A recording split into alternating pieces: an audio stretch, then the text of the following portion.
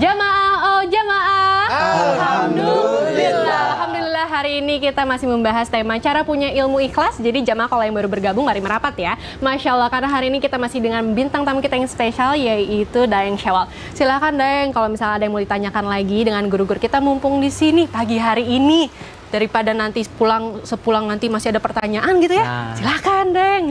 Ustadz ngacir.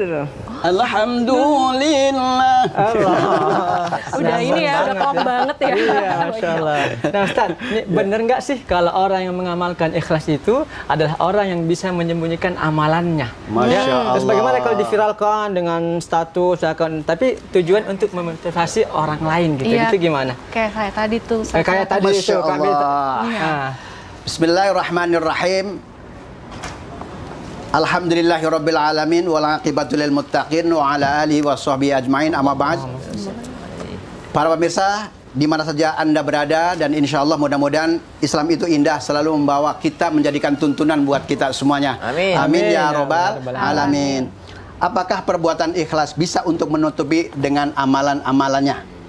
Dan insya Allah kita melihat di dalam kitab Mukhtarul Ahadis dijelaskan kitab yang dikarang oleh Syekh Alimah Abdurrahman Al-Hasimi Rasulullah mengatakan kitmanul musibah kitman itu adalah menyimpan. Jadi amalan-amalan yang kita simpan kemudian yang tadinya madzurat buat orang lain kita bisa nyimpan insya Allah menjadi ibadah buat kita. Nah ikhlas itu adalah eh, bisa terbagi menjadi tiga. Yang pertama ikhlasnya orang awam. Yang kedua ikhlasnya orang khuas, orang yang khusus.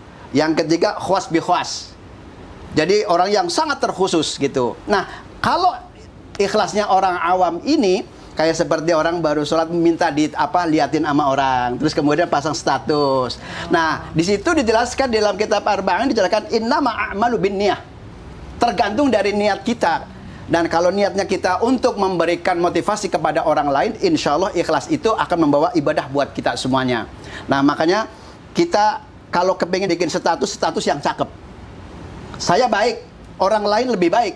Ya. Orang lain jelek, saya lebih jelek. Itu buat status buat kita. Wih. Nah itulah. Buat hari apa itu? Hah? Buat hari apa? Buat hari Sabtu dan Minggu. Weekend dong. Masya Allah. Nah, kemudian tadi benar dikatakan oleh apa eh, Ustaz Daeng, ikhlas itu asal kata adalah kholaso, yang artinya adalah selesai. Di dalam para kaum ulama dijelaskan al-ikhlasu jamilun. Ikhlas itu adalah indah. Nah, keindahan ini yuk kita manfaatin. Kalau seandainya kita bisa memanfaatkan keindahan itu, makanya dengan keindahan itu akan menjadikan mudah. Dengan ilmu akan jadi terarah. Nah, bagaimana dasarnya? Tentunya kita mencari sesuatu harus dengan keikhlasan. Kholaso yukholisu. Ada seorang Arab ketika lagi bekerja semuanya. Terus kemudian berhenti semuanya. Di akhir kalimatnya apa? Kholas, kholas, kholas gitu. Selesai, selesai, selesai kan seperti itu. Nah, ketika kita ibaratkan contoh yaitu seperti buang kotoran, itu kan? Keikhlasan itu apa? Kita seperti itu. Kita udah terbuang di mana-mana, nggak pernah diingat-ingat kan?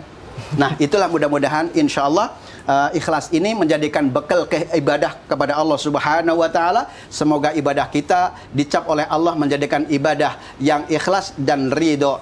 Sururun kolbi menjadikan Allah. hati yang selalu gembira, bahagia di hadapan Allah Subhanahu wa aku taala. tadi itu gimana Ustadz Punten? Hah? Aku kan tadi kayak upload status gitu kan, Ya. kayak ya udah mengajak orang lain untuk yaudah ayo kita sama-sama sedekah gitu. Tapi aku juga berbagi-bagi sedekah itu gimana kalau kalau aku tadi itu Ustadz? Pertama eh, karena niat.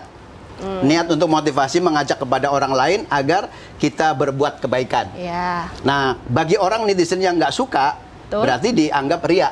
Iya, Ah. biasanya gitu. Benar. Nggak usah peduli orang yang seperti itu. Nah, Muhammad. Kalau niatnya buat flexing, Ah. dosa. tergantung niat kita ya. Gantung niatnya. Kalau niatnya mau pamer, dosa. Dosa. Nah, iya. Nah, jamaah, eh, tadi kan guru kita sudah menjelaskannya Habib Usman kalau misalnya ikhlas itu harus di awal, bukan di akhir. Nah, Hmm. gimana kalau misalkan ada seseorang yang eh, udah lama nih, terus dia lama-lama lama-lama akhirnya ya udahlah baru mengikhlaskan ketika dia kehilangan harta mungkin atau kehilangan seorang. Nah, itu hukumnya bagaimana ya? Aku mau tanya lagi nih sama Habib Usman. Silakan guru penjelasannya. Ya, khair Betari Apun, Ustadz Munawir. Masya Allah. Ustadz Daeng Sawal, Ustadz Syamsuddin Nur. Bismillahirrahmanirrahim. Allahumma salli ala Sayyidina Muhammad wa ala ali Sayyidina Muhammad. Alaihi. Kalau ditanya nih, hukumnya ikhlas tuh apa sih? Ya kan?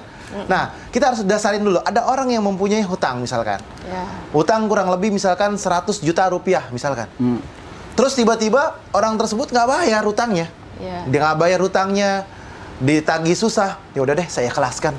Bismillah. Semoga Allah yang membalasnya dan Allah yang memberikan kebaikan. Hukumnya di sini adalah sunnah, boleh-boleh saja. Sunnah ini dikerjakan mendapatkan pahala, tidak dikerjakan tidak mendapatkan apa-apa. Oleh karena itu ketika dia mengikhlaskan dapat pahala daripada Allah Subhanahu wa taala. Di sini ada seorang yang di mana orang tersebut dia mengalami sebuah musibah. Contoh tadi. Tadi kan ceritanya Rasulullah yang kehilangan anaknya. Ada sahabat yang datang kepada Rasulullah, "Ya Rasulullah, anakku telah berpulang ke rahmatullah." Maka Rasulullah bersabda, "Sesungguhnya nanti ketika engkau berada di dalam mahsyar, anakmu akan menunggumu di depan surga."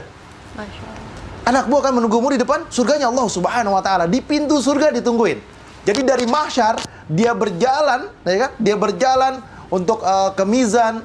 Kalau di dalam tafsir Yasin itu banyak eh, stasiun-stasiunnya, pemberhentian-pemberhentiannya. Tapi kita nggak bahas di sini. Sampai di mizan, sampai di Siratul Mustaqim, itu anaknya di depan.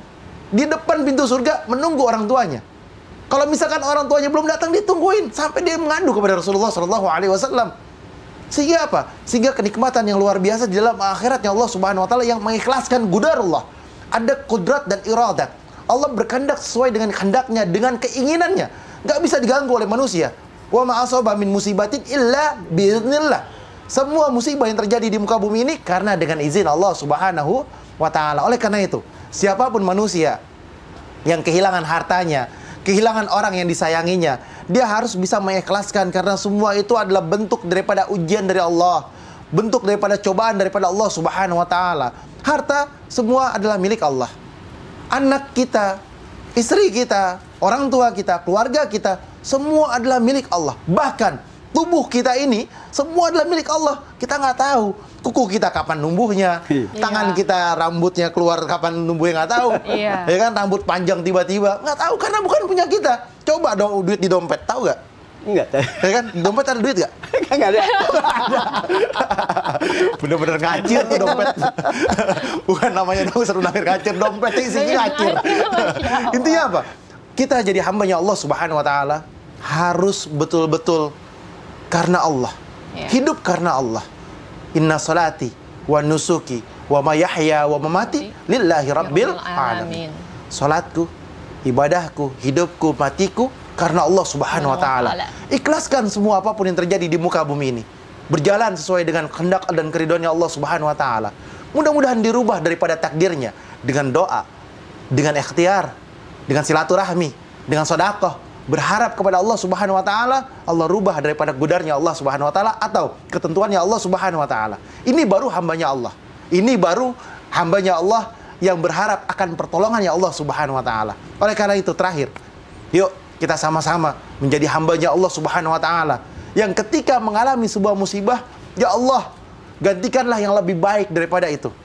Ya Allah, berikanlah yang terbaik daripada itu. Ya Allah, jadikanlah kami hambamu ya Allah yang mendapatkan kenikmatan dan keriduanmu dan Allah ganti yang lebih baik lagi. Amin ya Allah ya Rabbal Masya. Allah jamaah, semoga kita Allah. termasuk golongan orang-orang yang ikhlas ya, yang ikhlas ketika ditimpa musibah atau eh, ketika kehilangan harta dan lain sebagainya. Terima kasih Habib Usman atas penjelasannya. Masya Allah jamaah, hari ini, pagi ini sekarang kita akan mendengarkan murotal sambung ayat Al-Quran yang akan dibawakan oleh Ustadz Syam dan Daeng Sawal. Silakan guru. أعوذ بالله من الشيطان الرجيم. بسم الله الرحمن الرحيم.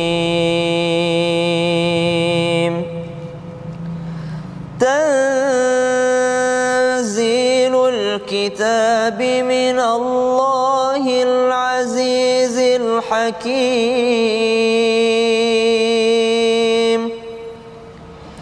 إنا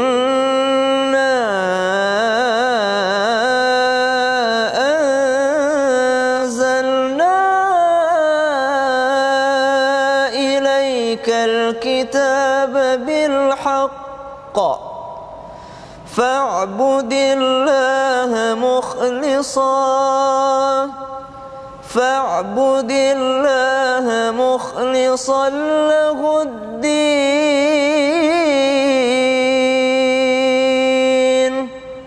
ألا لله الدين الخالص والذين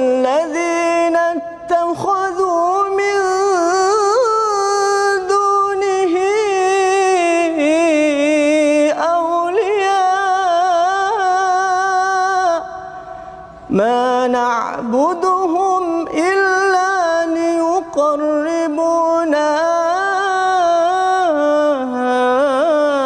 إلى الله زلفى. إن الله يحكم بينهم فيما هم فيه يختلفون.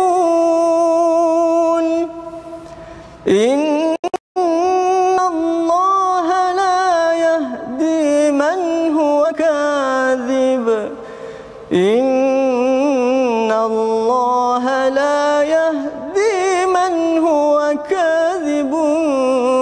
كفار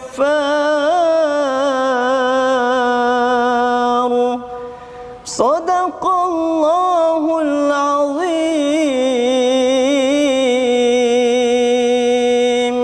Allahumma arhamna bil Quran Al-Quran surah Az-Zumar ayat 1 sampai dengan ayat 3 Kitab Al-Quran ini diturunkan oleh Allah yang maha mulia lagi maha bijaksana Sesungguhnya kami menurunkan kitab Al-Quran kepadamu Muhammad kata Allah dengan membawa kebenaran maka sembahlah Allah dengan ikhlas tulus dan beragama hanya kepadanya Ingatlah hanya milik Allah lah agama yang murni dari kesyirikan ini. Dan orang-orang yang mengambil pelindung selain dia Allah berkata, kami tidak menyembah mereka melainkan berharap agar mereka mendekatkan kami kepada Allah dengan sedekat-dekatnya. Itu kata mereka. Sesungguhnya Allah akan memberi keputusan di antara mereka tentang apa yang mereka perselisihkan. Sungguh Allah tidak memberi petunjuk kepada pendusta dan orang yang sangat ingkar.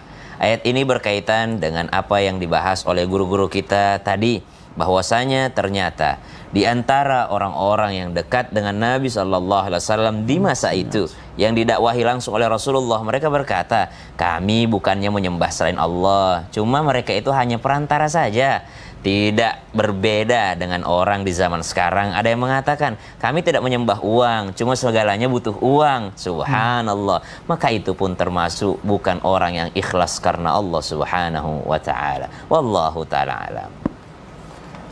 Ustaz, Siap. eh rekam aku tak nang Ustaz. Apa yang jepak kutanan? Ini nih kita punya orang tua nih. Misalkan kita ingin melatih keikhlasan itu bagaimana? Sedangkan kita lagi butuh ini. Allahu Akbar. Kita mau kasih orang, Orang tua. Sedangkan kita pas-pasan juga lagi butuh juga. Itu bagaimana untuk melatih keikhlasan kita? Barang siapa yang makan makanan enak, lalu tidak nawarin makanan tersebut kepada orang tuanya, Hah. maka haram baginya makanan enak di surga. Wah. Baik, berat juga ini kalau Wih, bicara orang tua. Karena beratnya itu, maka Ya. kita akan bahas setelah yang satu ini. Tetap di. Islam itu indah. Jamaah, oh jamaah. Alhamdulillah. Alhamdulillah.